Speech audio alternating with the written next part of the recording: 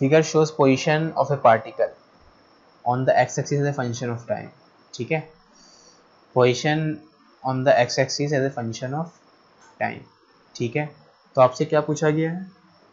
आपसे पूछा गया है particle has come to rest at six time ठीक है? तो आपको देखो, यहाँ में लिखा गया position of particle as function of time लेकिन यहाँ पे डिस्प्लेसमेंट दे दिया है, ठीक है? है ना? तो यहाँ पे क्या लिखना चाहिए था? पोजिशन ये प्रिंटिंग मिस्टेक है। ठीक है, ऊपर भी हो सकता है, नीचे भी हो सकता है तो मैं मान ले रहा हूँ, ऊपर वाला सही है तो नीचे वाला। यहाँ डिस्प्लेसमेंट नहीं है, यहाँ पोजिशन है। ठीक है, चलो। वैसे शायद इस क्वेश्चन में फ़र्क नहीं पड़ेगा ऑप्शन देखते हैं। The particle has come to rest six times ठीक है तो अब ये कैसे पता करेंगे particle come to rest rest मतलब वेलोसिटी ज़ीरो और अगर आपको पोजिशन टाइम ग्राफ दिया हो, या डिस्प्लेसमेंट टाइम ग्राफ दिया हो तो वेलोसिटी कैसे पता करते हैं? स्लोप से पता करते हैं। वेलोसिटी क्या होता है? Slope of displacement time graph या पोजिशन टाइम ग्राफ ठीक है? पोजिशन टाइम ग्राफ का स्लोप या डिस्प्लेसमेंट टाइम ग्राफ का स्लोप कोई भी उन दोनों में से आपको बता देगा वेलोसिटी क्या है, ठीक है? तो अगर पार्टिकल रेस्ट पे आया है रेस्ट पे आया मतलब वेलोसिटी ज़ीरो है, और क्योंकि वेलोसिटी स्लोप होता है तो वेलोसिटी ज़ीरो मतलब स्लोप भी ज़ीरो ठीक है? तो इस ग्राफ में देखते हैं कहाँ का स्लोप ज़ीरो यहाँ ज़ीरो है स्लोप यहाँ ज़ीरो है स्लोप यहाँ यहाँ यहाँ यहाँ। तो एक, दो, तीन, चार, पाँच, छ। तो छः बार स्लोप ज़ीरो है।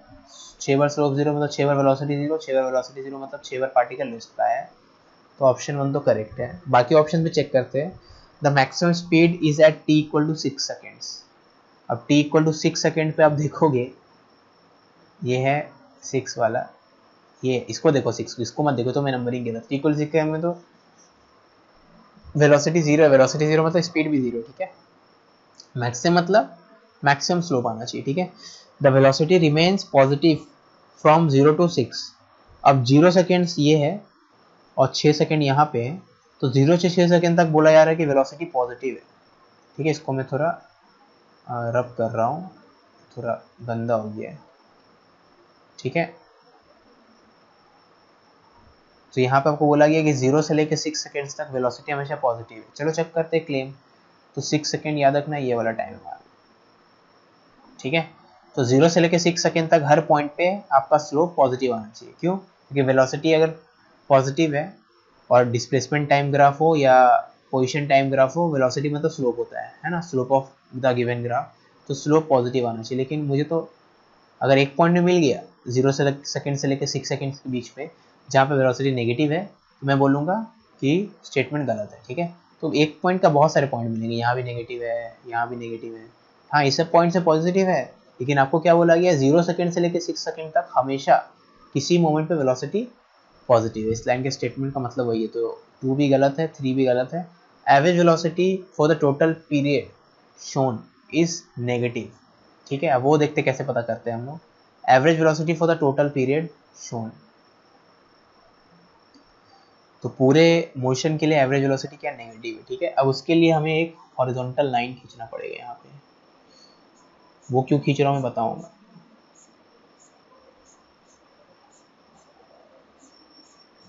ठीक है? तो अगर हॉरिजॉन्टल लाइन में यहाँ से खींचा तो कुछ ऐसा है। है ना? तो अगर मैं सही खींचा हूँ हॉरिजॉन्टल लाइन मुझे हॉरिजॉन्टल खींचना था थोड़ा आगे पीछे हो सकता है। तो सपोज़ मान लो वो ये वाला पोजीशन का नाम x इक्वल टू फिफ्टीन है, ठीक है? ये x इक्वल टू टेन ये फिफ्टीन है, आप फोर्टीन नहीं मान सकते आपका मन। मैं खाली रफली बोल रहा हूँ, मान लो फिफ्टीन है, ठीक है? टेन से ट्वेंटी के बीच का कुछ नंबर मान लो आपका मन। तो फिफ्टीन है तो ऑफकोर्स यहाँ पे मुझे दिख रहा है कि ये तो फिफ्टीन से ज़्यादा है। अगर मैं स्ट्रेट लाइन सही खींचा हूँ तो ये तो फिफ्टीन से ज़्यादा है, ठीक है? तो ऑफकोर्स शुरू में था एक्स इक्वल टू फिफ्टीन पे, बाद में है कुछ फिफ्टीन पॉइंट मान लो वन पे। ठीक है? मेरे स्ट्रेट लाइन के तो ऊपर आ रहा ना फाइनल पोजिशन तो मतलब ज़्यादा है फिफ्टीन वाले हाइट से ज़्यादा है। इनिशियल में फिफ्टीन पे था, अभी थोड़ा हाइट ज़्यादा हो, ठीक है? तो जो भी है, आप अगर पूरे मोशन के लिए देखें तो ऑब्जेक्ट पहले एक्स इक्वल टू फिफ्टीन पे था, और मोशन के एंड में object x equal to fifteen point one पे। याद रखना, इस ग्राफ के ऊपर ऑब्जेक्ट नहीं चल रहा है। ऑब्जेक्ट तो स्ट्रेट लाइन पे चल रहा होगा एक्स एक्सिस पे। ठीक है ग्राफ तो कल ही उसका अलग अलग टाइम पे क्या क्या पोजिशन है, वो बता रहा है, ठीक है, वो अलग चीज़ तो अल्टीमेटली फिफ्टीन ज़ीरो सेकेंड्स पे एक्स इक्वल टू फिफ्टीन पे है और सिक्स सेकेंड्स पे x equal to fifteen point one पे है। तो डिस्प्लेसमेंट तो कुछ ना कुछ हुआ है डिस्प्लेसमेंट पॉजिटिव डायरेक्शन में हुआ है। तो डिस्प्लेसमेंट अगर पॉजिटिव है तो उसका एवरेज वेलोसिटी भी पॉजिटिव आएगा ठीक है लास्ट वाला पार्ट थोड़ा इस क्वेश्चन में हार्ड नहीं है, लेकिन थोड़ा मुश्किल है देखना, क्योंकि ग्राफ जो है बहुत क्लोज आ रहा है, ठीक है? यहाँ पे अगर मेरा स्ट्रेट लाइन थोड़ा टेढ़ा होता तो ऐसे करके निकलता और ऐसे करके निकलता तो फिर वेलोसिटी नेगेटिव दिखती है। ठीक है? तो इस, ऐसे एक्चुअल एग्ज़ाम में इतना क्लोज वाला ग्राफ नहीं रहेगा, ठीक है? इसमें बोलना चाहता हूँ आपको ग्राफ कुछ ऐसा रहना चाहिए था। चलो यहाँ पे ड्रॉ करके दिखाता हूँ, जिससे आपको क्लियरली पता चल जाएगा एटलीस्ट है ना? ये हार्ड ग्राफ नहीं है, बहुत सपोज़ ऐसा ग्राफ है। ठीक है आपका एग्ज़ाम तो t equal to zero seconds पे आप देख सकते हो पोजिशन कुछ इतना है। ठीक है, और t इक्वल टू मान लो सिक्स सेकेंड्स पे पोजिशन क्लियरली उससे कम है यहाँ पे। यहाँ पे क्लियरली मुझे दिख रहा है कि कम है। उस ग्राफ में क्लियरली नहीं दिख पा रहा है। बहुत क्लोज पॉइंट है, ठीक है? मैं खाली वो बोलना चाहता हूँ बस। ये था question number fifty three moving on next question आपका फिफ्टी फोर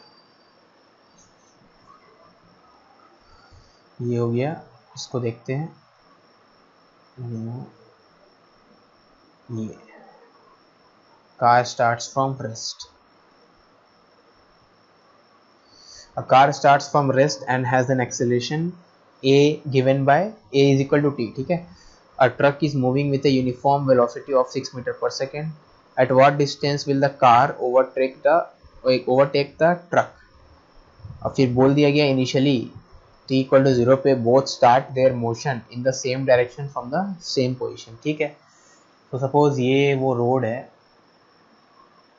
जहाँ पे दोनों रेस या ड्राइव कर रहे ठीक है? ये वो रोड है स्ट्रेट लाइन होगा सपोज़ ठीक है ना? तो ये सपोज़ स्टार्टिंग पोजीशन है ये स्टार्टिंग पोजीशन है ठीक है? तो t इक्वल टू ज़ीरो पे दोनों के दोनों कार भी यहाँ पे है और ट्रक भी यहाँ पे कार को मैं सी से नोट करूँगा ट्रक को टी से ठीक है? स्टार्टिंग पोजीशन लिखने की ज़रूरत नहीं है। कंफ्यूज हो जाओगे आप बहुत सारे सिंबल्स वैसे ही लिख चुके हैं। तो टी इक्वल टू ज़ीरो पे कार यहाँ पे है ट्रक भी वहीं पे है ना? अब आपको बोल दिया गया है कार क्या है ट्रक को कितने देर में ओवरटेक करेगा? आपको बोल दिया कि ट्रक जो है वो constant speed six metre per second से चल रही है, ठीक है? तो ऑफकोर्स कार जो है रेस से स्टार्ट कर रहा है, लेकिन ट्रक जो है शुरू से ही भाग रहा है। शुरू से ही ट्रक कितने से भाग रहा है? Six metre per second car तो रेस से स्टार्ट कर रहा है है ना? और कार के एक्सेलेशन है। तो कार का धीरे धीरे स्पीड बढ़ रहा है, लेकिन स्टार्ट तो ज़ीरो से किया है ना। तो शुरू में तो ट्रक उससे आगे निकल जाएगा, लेकिन कार का एक्सीलेशन है तो कभी ना कभी car will catch up with truck ठीक है? तो मान लो यहाँ पे कैचअप कर रहा है।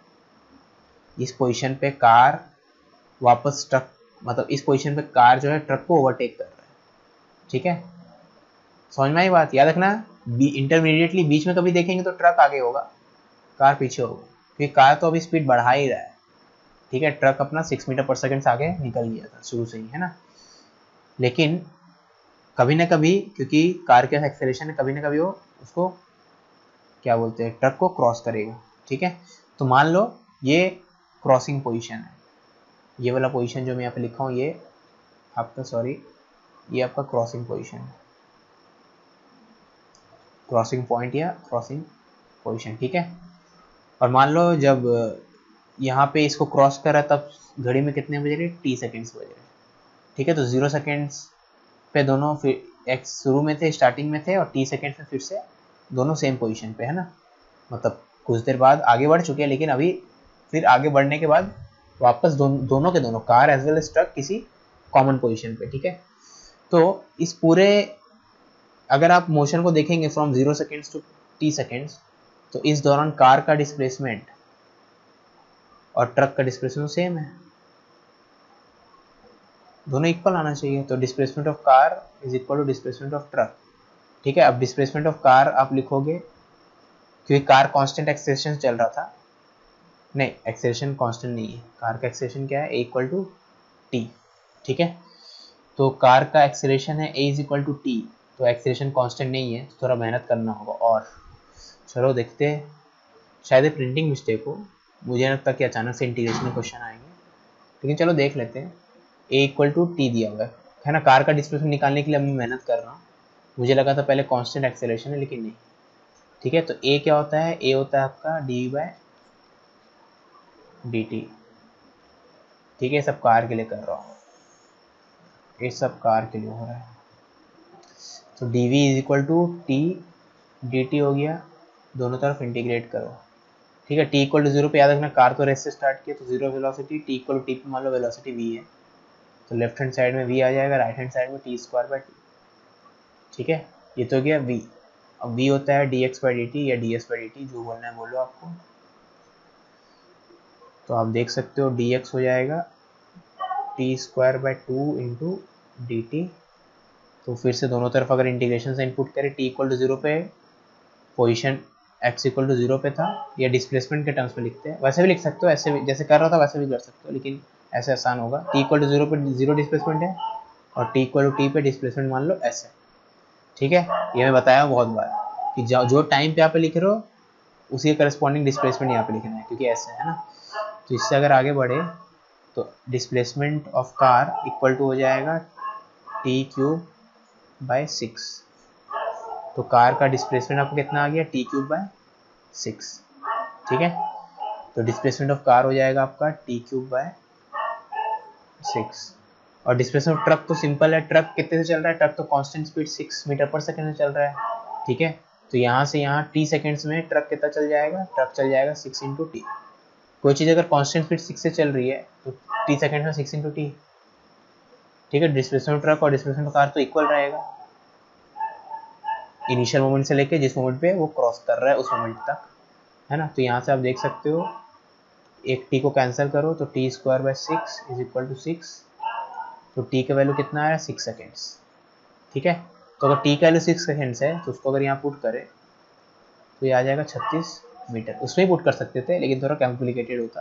दोनों इक्वली याद रखना. सिक्सटी में पुट करो या उसमें पुट करो? Thirty six metre. हाँ नहीं, कोई प्रिंटिंग मिस्टेक नहीं था. आंसर मैच किया, ठीक है? तो ये था क्वेश्चन नंबर फिफ्टी फोर खाली ध्यान देना कि टी इक्वल टू ज़ीरो पे दोनों सेम पोजीशन पे और जब क्रॉस करोगे तब भी कॉमन पोजीशन पे होंगे, ठीक है?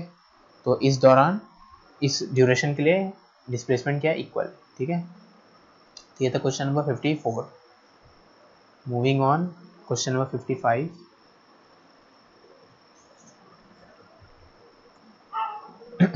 ये था बिटवीन टू स्टेशंस ट्रक हो। गया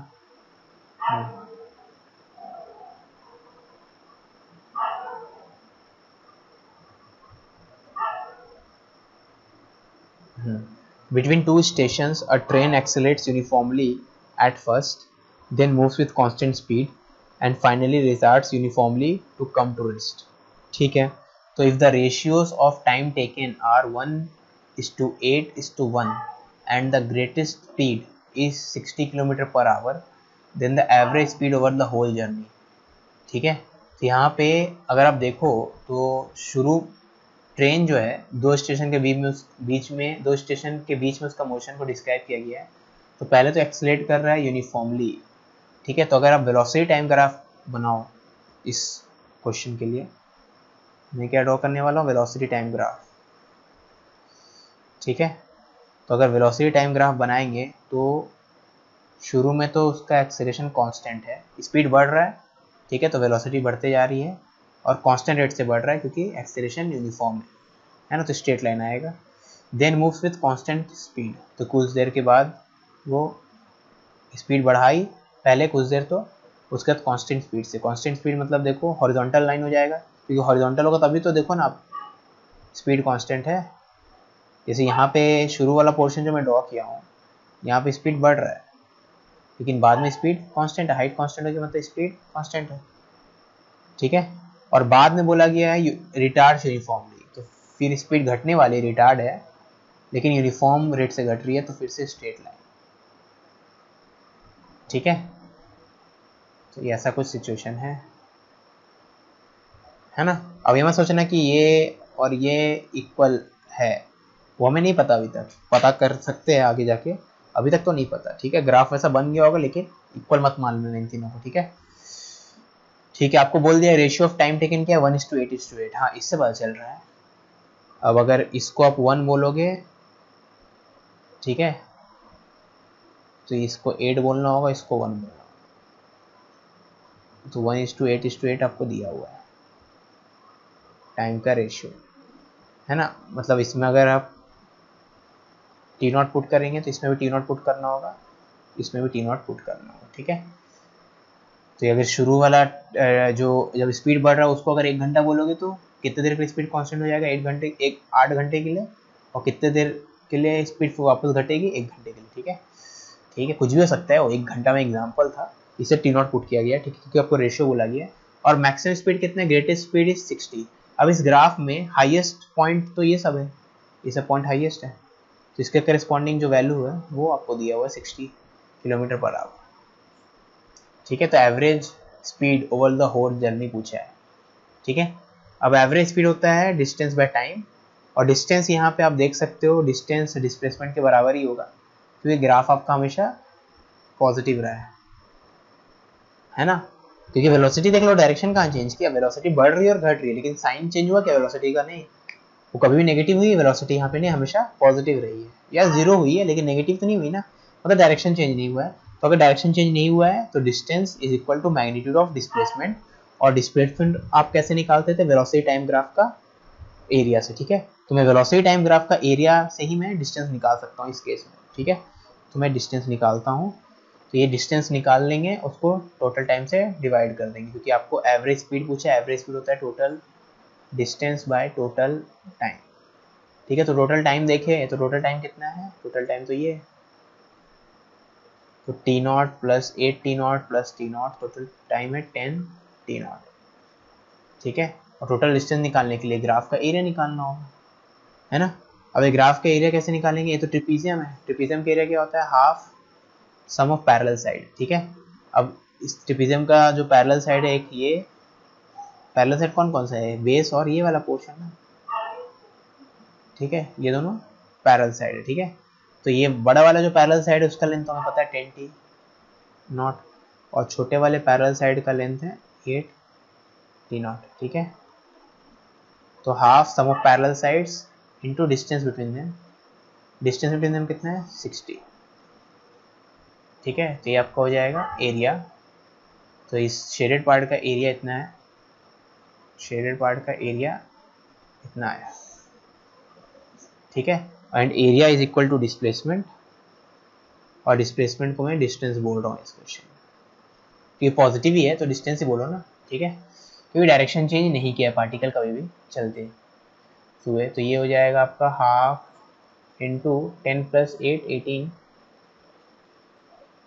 into last में सिक्सटी ठीक है? देखो t naught t naught cancel हो गया। एक ज़ीरो इससे कट गया तो अठारह चक एक सौ आठ बाई दो, या नौ चक चौवन फिफ्टी फोर तो आंसर हो जाएगा ऑप्शन टू ठीक है? ये था question number fifty five moving on next question आपका फिफ्टी सिक्स में बॉल इज़ थ्रोन अप वाला क्वेश्चन है।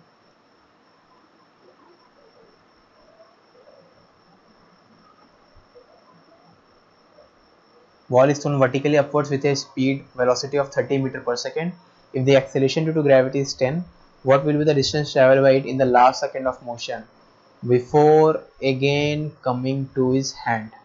ठीक है last second before coming to his hand तो पता करते हैं पहले कमिंग टू हैंड कब हो रहा है तो ये सपोज़ आपका हाथ है ये हैंड है तो यहाँ से आपने बॉल को ऊपर फेंका है ठीक है तो आपको ये पता है कि ऊपर जाने में इतना टाइम लगता है। ये हाईएस्ट पॉइंट है मान लो।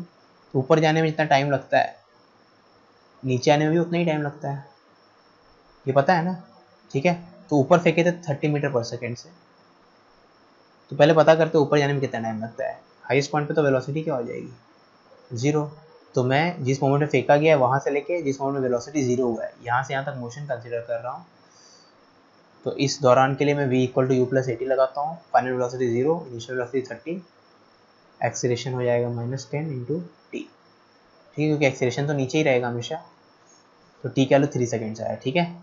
तो t equal to zero seconds में यहाँ पे है अगर तो t equal to three seconds में हाईएस्ट पॉइंट पे होगा और t equal to six second से वापस यहाँ पे होगा। क्योंकि तीन सेकेंड में ऊपर जाएगा, तीन सेकेंड में वापस नीचे आएगा, ठीक है? तो बॉल यहाँ से स्टार्ट किया, यहाँ से यहाँ गया पहला तीन सेकेंड में।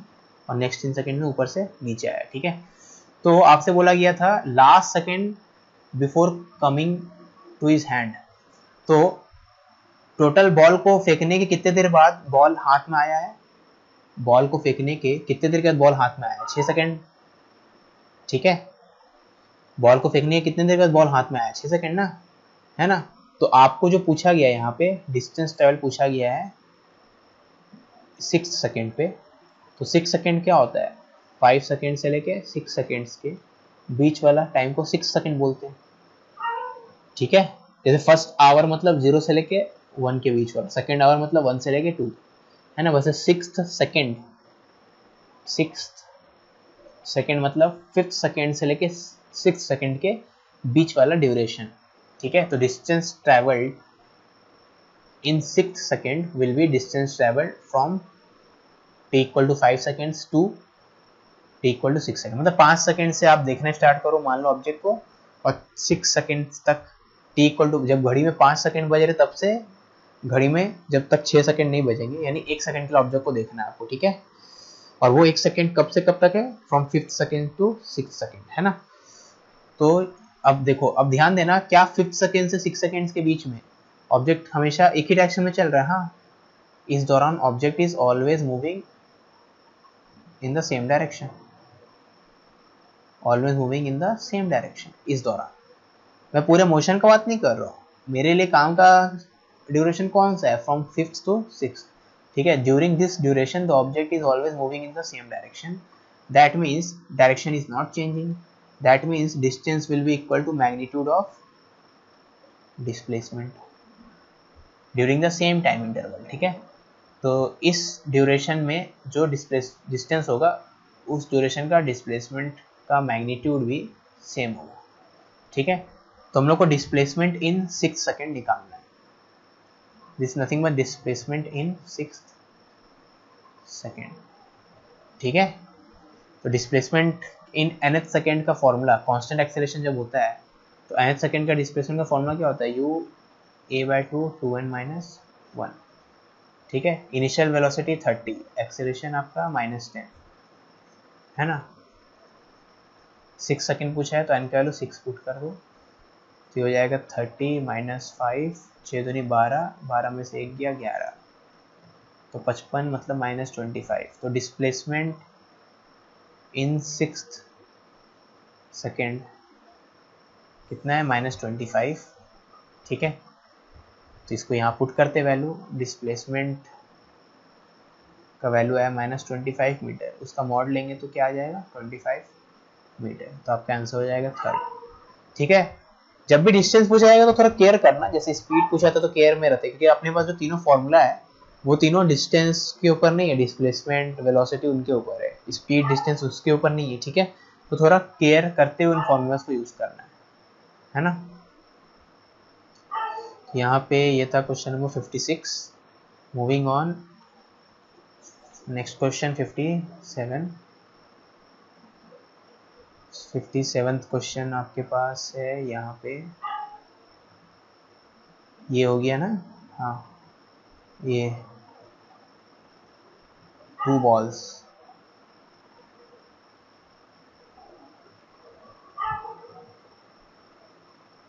ठीक है two balls are dropped from different heights one ball is drop two second after the other but they both strike the ground at the same time three seconds after the first ball is dropped the difference in the heights at which they were dropped is ठीक है? तो दो balls को अलग अलग height से छोड़ा गया है। सपोज़ ये ग्राउंड है, ठीक है? फ़र्स्ट बॉल को, ये फ़र्स्ट बॉल है आपका, ये सेकेंड बॉल है। ठीक है? तो फ़र्स्ट बॉल सेकेंड बॉल तो फ़र्स्ट बॉल ऑफ़ ज़्यादा देर के लिए चल रहा है। Three second after the first is drop तो फ़र्स्ट बॉल को ऊपर से ग्राउंड तक आने में तीन सेकेंड लग गए। ठीक है? When the other ball is drop two second after the first ball और दूसरे बॉल को आने में टोटल वन सेकेंड ही तो लगाया ना? ठीक है? क्योंकि पहले बॉल को छोड़ने के दो सेकेंड के बाद हम लोग दूसरे बॉल को छोड़े। और पहले बॉल के छोड़ने के तीन सेकंड के बाद दोनों बॉल टकरा गए ग्राउंड से, है ना? यानी दूसरा बॉल कितने देर के लिए चल पाया? सिर्फ़ एक सेकंड के लिए। समझ में आई बात? ठीक है? इस चीज़ को वापस सोचना। चलो तो डिफरेंस इन द हाइट तो हाइट के बारे में पूछा गया है। तो मैंने आपको बोला था कि जब भी एक्सेलेशन कांस्टेंट हो, जब भी एक्सेलेशन कांस्टेंट हो और इनिशियल वेलोसिटी या फाइनल वेलोसिटी में कोई भी एक ज़ीरो हो, ठीक है? तो आप हाइट या डिस्प्लेसमेंट में ये फॉर्मूला यूज़ कर सकते हो हाफ़ ए टी स्क्वायर ठीक है? आँख मुन के हाफ़ ए टी स्क्वायर और साइन वाइन का भी टेंशन मत लेना, सबका मैग्नीट्यूड पुट करना, ठीक है? तो हाफ़ ए एक्सेशन कितना है? टेन है ना? इसका टाइम ऑफ़ फ़्लाइट कितना है? तीन सेकेंड ठीक है? तो पहले वाले ऑब्जेक्ट के लिए ये आएगा डिस्प्लेसमेंट का मैग्नीट्यूड है ना? कल मैं डिस्प्लेसमेंट का मैग्नीट्यूड निकाल रहा हूँ, ध्यान देना, है ना?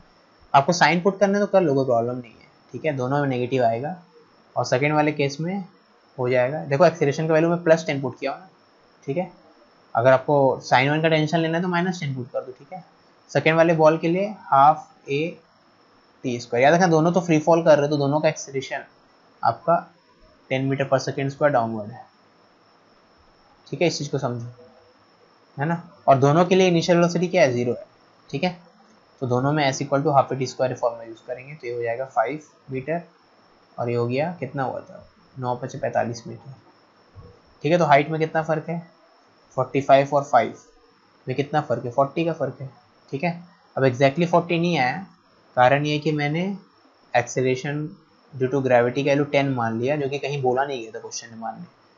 कुछ बोला नहीं आता तो आपको टेन नहीं मानना है। आपको क्या मानना है? नाइन पॉइंट एट मानना है। ठीक है? तो अगर नाइन पॉइंट एट मानते तब जो हमारा डिफरेंस इन दोनों का डिफरेंस फोर्टी का आ रहा है नाइन पॉइंट एट मानते तो थर्टी नाइन पॉइंट टू का आता ठीक है? तो ये था क्वेश्चन नंबर फिफ्टी सेवन